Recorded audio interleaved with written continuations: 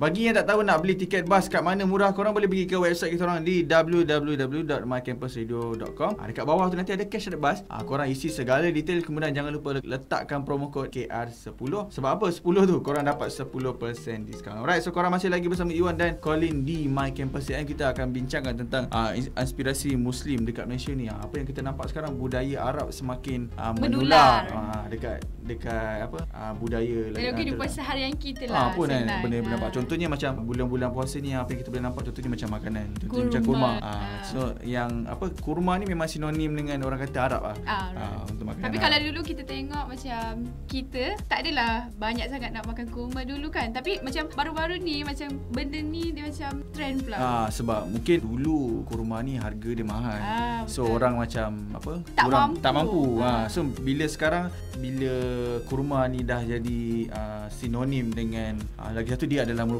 sunnah untuk orang Islam kan untuk makan kurma korang kira dapat sunnah. Kira sunnah lah. Maknanya sekarang pun dah senang nak dapat dan harga dah murah. So macam orang pun dah tak ada alasan untuk tak makan benda ni uh.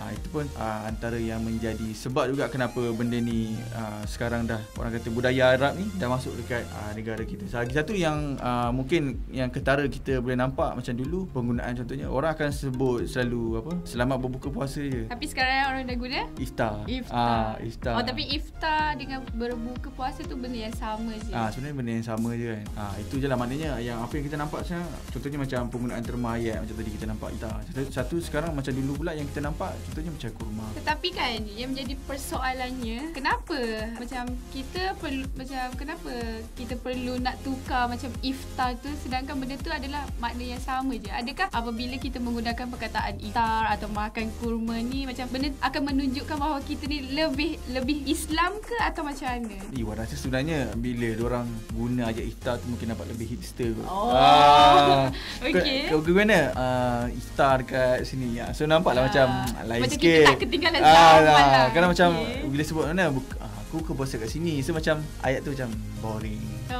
Ha, so macam kita uh, iftar cik konon-konon nak ikut lah macam harap kan. Oh. Ha, itulah mungkin. Ha, tapi kalau korang rasa tak setuju sebenarnya uh, penggunaan iftar ni sebenarnya kod-kod lah. Even tak tahulah kan. Kod-kod sebenarnya kena guna juga. Ni bahasa Arab. Ni apa barulah kita nampak macam betul orang Islam ke apa ke lah kod-kod lah ada macam tu kan. So topik kita hari ni berkenaan dengan uh, budaya Arab yang dah masuk dekat negara kita ni dan mempengaruhi waktu hari raya kita nanti. Oh. Ha, so kita nak tahu juga pendapat orang luar macam mana. Hello, Assalamualaikum. Waalaikumsalam. Ha, boleh perkenalkan diri tak? Okey, saya Erin. Okey, Erin daripada mana? Uh, saya daripada uh, Seri Kembangan. Okey, Erin. Uh, topik kita hari ini berkenaan dengan budaya Arab yang telah masuk kat negara kita ni. Contohnya macam uh, baju apa? Bila raya je perempuan mesti nak kena pakai jubah. Macam Erin sendiri, baju raya dah beli tak? Uh, dah beli dah. Baju uh, apa tapi beli? tak pakai jubah lah. Tak pakai jubah, baju kurung lah. Uh, uh, ya. Tapi apa pendapat baju Erin? Layu.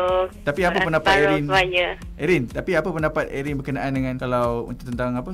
Uh, budaya. Orang yang suka pakai jubah ni lah maksudnya bila raya. Maksudnya budaya ha. Arab lah. Oh, maksudnya dia dah jadi trend lah kan. Ha. so dia macam uh, bagus jugalah men- menunjukkan uh, orang Melayu dekat sini apa uh, lebih prihatin terhadap uh, apa ni penampilan yang sopan. Itulah tapi pendapat Eris sendiri adakah uh, kalau kita uh, memakai uh, kita nak sopan kita nak pakai ala-ala ratu uh, boleh uh, menunjukkan kita ni macam seorang muslim, seorang muslim sejati ya uh, itu ikut kepada pendirian masing-masing lah. Uh, kalau dia memang nak menutup aurat uh, sebab pakai jubah tu sebab nak menutup aurat memang mengikut syariat uh, dia ikhlas. Uh, maksudnya baguslah. Tapi kalau setakat trend pakai jubah tapi jubah yang ketat uh, tu maksudnya macam tak elok lah orang lain pandang kan. Okey, macam Mak Erin sendiri prefer iftar ke berbuka puasa?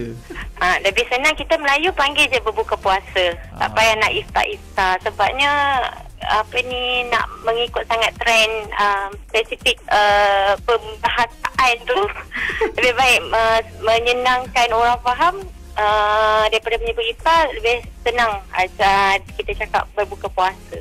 Ah, okey okey. Okey Rin, thank you Rin. Okey. Okey, Assalamualaikum. Salam. Ah, itu pendapat daripada Erin daripada Sekiri